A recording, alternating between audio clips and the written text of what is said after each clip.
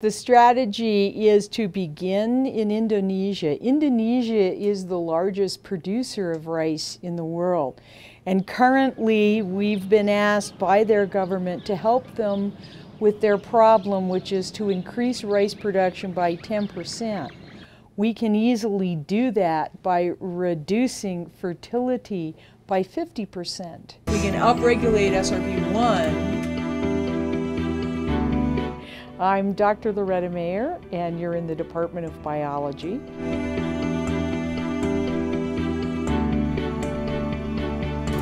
This should be pretty.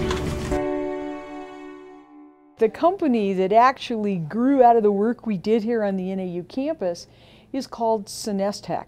We are increasing food supplies and we're doing it without the use of poison. So this environmentally neutral approach that has never been available before is, is very exciting for us. And I can get some of this other stuff out of the way. We actually have numerous products under development right now, and they're all built on this platform technology of accelerating the loss of eggs in the mammalian ovary. Because what that does is it renders an animal non-reproductive or sterile. And because The first product that the company is working on right now is in the registration pro process in Australia. And the name of that product is Contrapest. And that is a fertility management control product.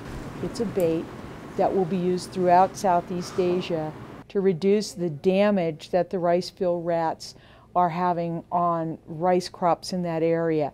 When we aim to increase food and increase food security for those countries.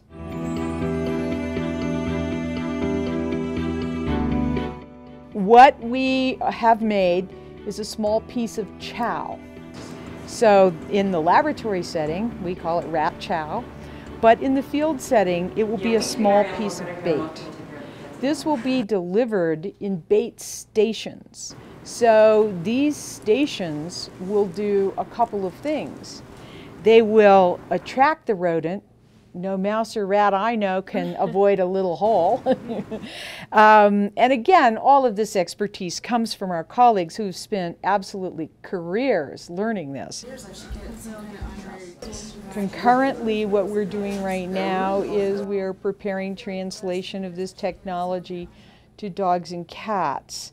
And uh, we have already completed proof of concept studies in the in canine. And again I when I mention canine yes there will be a tremendous impact on shelters because we can reduce the number of unwanted animals in shelters by controlling population. It will be a very cost effective method for people to use and avoid um, uh, avoid surgery. But the real impact of canine is global I think if everything were to go as it could go in a positive direction, where we'll be is we'll be shifting our understanding of wildlife population control to a more humane thinking process